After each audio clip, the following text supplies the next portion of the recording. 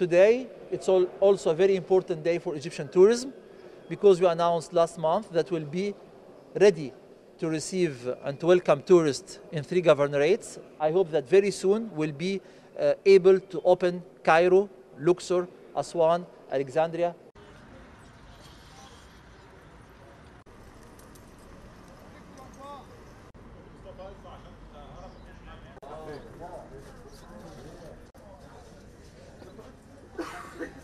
صور احطه